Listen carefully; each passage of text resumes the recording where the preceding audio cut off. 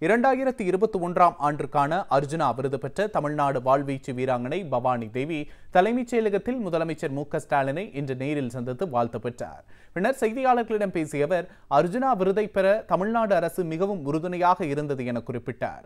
முதலமைச்சரை நேரில் சந்தித்து வாழ்த்து பெற்றது பெருமையாகவும் மகிழ்ச்சியாகவும் இருப்பதாக அவர் கூறினார். தமிழ்நாடு அரசு விளையாட்டுத்துறைக்கு அனைத்து ஒத்துழைப்பையும் வழங்கி வருவதாக பவானி தேவி தெரிவித்தார். பாரிஸ் ஒலிம்பிக்கில் பதக்கம் வெல்வதற்காக அரசு எல்லாவிதமான ஒத்துழைப்பையும் வழங்குவதாக அறிவித்துள்ளது. கூடுதல் நம்பிக்கையை அளிக்கும் விதமாக இருப்பதாகவும் பவானி தேவி கூறினார்.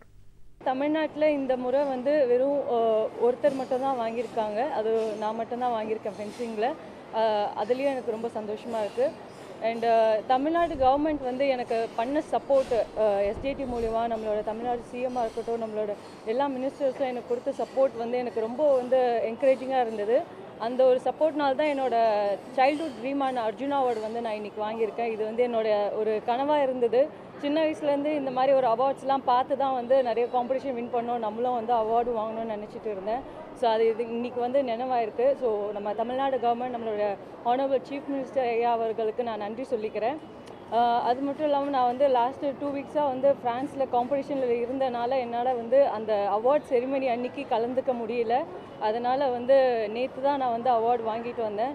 ஸோ அதை வந்து இன்னைக்கு காலையில் தான் நான் சென்னைக்கு வந்தேன். ஸோ வந்த உடனே வந்து ஆனரபிள் சிஎம் அவர்கள் வந்து அப்பாயின்மெண்ட் கொடுத்து என்னை வந்து வா- எனக்கு வந்து வாழ்த்து தெரிவித்தாங்க நேரடியாக ஸோ அது எனக்கு பெரிய என்கரேஜிங்காக இருக்குது இப்போ மட்டும் இல்லை எப்போவுமே நான் எந்த ஒரு அச்சீவ்மெண்ட் வாங்கினாலும் வந்து கண்டிப்பாக அவங்க வந்து எனக்கு அவங்க நேரடியாக கூப்பிட்டு வாழ்த்து தெரிவிக்கிறது எனக்கு ரொம்ப ஒரு பெருமையான விஷயமா இருக்குது ரொம்ப என்கரேஜிங்காக இருக்குது ஸோ கண்டிப்பாக இப்போ வந்து நம்ம கவர்மெண்ட் வந்து ஸ்போர்ட்ஸுக்கு நிறைய பண்ணிட்டு இருக்காங்க. எனக்கும் வந்து கண்டிப்பாக எல்லா விதமான சப்போர்ட்டும் கொடுக்குறேன்னு சொல்லியிருக்காங்க. அது வந்து பாரிஸ் ஒலிம்பிக்ஸில் கண்டிப்பாக எனக்கு மெடல் அடிக்கிறதுக்கு எல்லா விதமான சப்போர்ட்டும் கிடைக்குன்றப்ப எனக்கு வந்து அது ரொம்ப பெரிய நம்பிக்கையாக இருக்குது ஸோ கண்டிப்பாக என்னோட கடினமான முயற்சி நான் போட்டு நம்ம தமிழ்நாட்டுக்கும் சரி இந்தியாவுக்கும் சரி இன்னும் பெரிய அச்சீவ்மெண்ட்டோடு நான் திரும்பி வருவேன்ற நம்பிக்கையோடு இருக்கேன்.